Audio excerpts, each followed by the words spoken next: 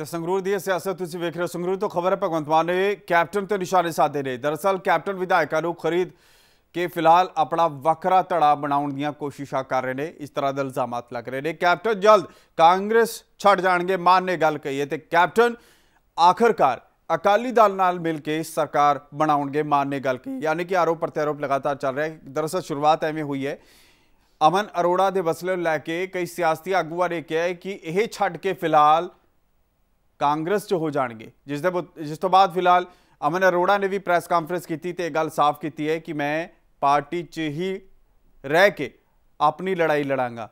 ਜਿਨ੍ਹਾਂ ਦਾ ਜ਼ਮੀਰ ਨਹੀਂ ਹੁੰਦਾ, ਉਹ ਪਾਰਟੀਆਂ ਛੱਡਦੇ ਨੇ ਤੇ ਮੇਰਾ ਜਿਹੜਾ ਜ਼ਮੀਰ ਹੈ, ਉਹ ਜਿਉਂਦਾ ਹੈ ਤੇ ਮੈਂ ਆਪ ਦੇ ਨਾਲ ਆਖਰੀ ਦਮ ਤੱਕ ਲੜਾਂਗਾ। ਇਸ ਤਰ੍ਹਾਂ ਦੀ ਗੱਲ ਇਹਨਾਂ ਨੇ ਕਹੀ ਹੈ, ਪਰ ਦੂਜੇ ਪਾਸੇ ਜਿਸ ਤਰ੍ਹਾਂ ਦੇ ਸੂਰੇ ਖੜੇ ਹੋਏ ਸੀ, ਉਹਦਾ ਜਵਾਬ ਇਹਨਾਂ ਨੇ ਇਸ ਤਰ੍ਹਾਂ ਦੇ ਸ਼ਬਦਾਂ ਨਾਲ ਕੀਤਾ ਖਾਸ ਤੌਰ ਤੇ ਭਗਵੰਤ ਮਾਨ ਨੇ ਕਿਹਾ ਕਿ ਇਹ ਜਲਦੀ ਕਾਂਗਰਸ ਛੱਡ ਦੇਣਗੇ ਤੇ ਅਕਾਲੀਆਂ 'ਚ ਸ਼ਾਮਿਲ ਹੋ ਕੇ ਸਰਕਾਰ ਬਣਾ ਲੈਣਗੇ।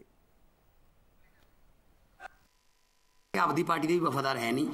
ਇਹ ਤੁਸੀਂ ਅੱਜ ਮੇਰੇ ਵਰਡਿੰਗ ਤੁਸੀਂ ਲੈ ਲਓ।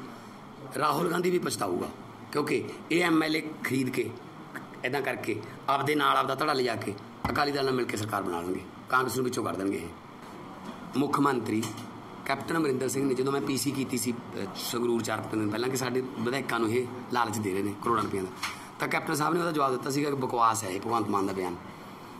ਸਾਡੀ ਕਿਹੜਾ ਕੋਈ ਸਰਕਾਰ ਟੁੱਟਣ ਲੱਗੀ ਹੈ? ਸਾਨੂੰ ਨਹੀਂ ਚਾਹੀਦੇ। ਤੇ ਹੁਣ ਦੋ ਦਿਨਾਂ 'ਚ ਸਰਕਾਰ ਨੂੰ ਖਤਰਾ ਹੋ ਗਿਆ। ਉੱਥੇ ਮੋਦੀ ਕਹੀ ਜਾਂਦਾ, ਮੈਂ ਇੱਥੇ ਇੰਨੇ ਖਰੀਦ ਲੂੰ ਮੈਂ ਇੰਨੇ ਖਰੀਦ ਲੂੰ ਇੱਥੇ ਇਹ ਕਹੀ ਜਾਂਦਾ, ਮੈਂ ਇੰਨੇ ਖਰੀਦ ਲੂੰ ਠੀਕ ਹੈ? ਇਹਦਾ ਮਤਲਬ ਡੈਮੋਕ੍ਰੇਸੀ ਨੂੰ ਇਹ ਪੈਸਿਆਂ ਨਾਲ ਜਿਹੜਾ ਖਰੀਦ ਲੈਣਗੇ, ਫਿਰ ਇਹ ਪੰਜਾਬ ਚੋਂ 13 ਐਮਪੀ ਲੜ ਕਿਉਂ ਰਹੇ ਨੇ ਕਾਂਗਰਸ ਵਾਲੇ। ਆਮ ਆਦਮੀ ਪਾਰਟੀ ਵਾਲੇ ਜਿੱਤ ਲੈਣ ਦਿਓ, ਬਾਅਦ 'ਚ ਖਰੀਦ ਲਿਓ। ਕੈਪਟਨ ਸਾਹਿਬ ਲੋਕਾਂ ਨੇ ਜਦੋਂ ਮੋੜ ਤੇ ਉਮੀਦਵਾਰ ਵਾਪਸ ਪਿੰਡਾਂ ਚੋਂ ਸਵਾਲ ਪੁੱਛ-ਪੁੱਛ ਕੇ ਬੇਰੁਜ਼ਗਾਰੀ ਦੇ ਜਾਂ ਆਪਣਾ ਘਰ ਘਰ ਨੌਕਰੀਆਂ ਦੇ ਜਾਂ ਕਰਜ਼ਿਆਂ ਦੇ, ਤਾਂ ਉਹਨੇ ਕਿਹਾ ਵੀ ਆ- ਆਮ ਆਦਮੀ ਪਾਰਟੀ ਨੂੰ ਤੋੜ ਲਓ। ਕੈਪਟਨ ਸਾਹਿਬ ਚਾਹੁੰਦੇ ਨੇ ਕਿ ਵਿਰੋਧੀ ਧਿਰ ਜਿਹੜੀ ਆ ਅਕਾਲੀ ਦਲ ਬਣ ਜੇ, ਤਾਂ ਕਿ ਉਹਨਾਂ ਨੂੰ 2.5 ਸਾਲ ਕੋਈ ਤੰਗ ਨਾ ਕਰੇ। ਠੀਕ ਹੈ ਨਾ? ਕੋਈ ਗੱਲ ਨਹੀਂ। ਮੈਂ ਅੱਜ ਕੈਪਟਨ ਸਾਹਿਬ ਦੇ ਨਾਂ ਤੇ ਇੱਕ ਵੀਡੀਓ ਪਾਈ ਹੈ ਕਿ ਤੁਸੀਂ ਪੰਜਾਬ ਦੀ ਚਿੰਤਾ ਕਰ ਲਓ, ਤੁਸੀਂ ਪਾਰਟੀ, ਸਾਡੀ ਪਾਰਟੀ ਨੂੰ ਤੋੜ।